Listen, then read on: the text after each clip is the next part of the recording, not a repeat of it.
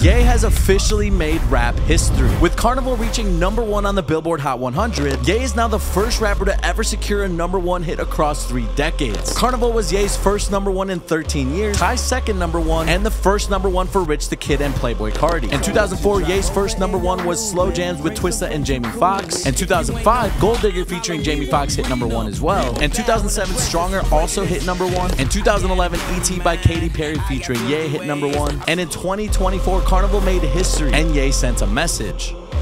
Let us know what you think of Carnival down in the comments.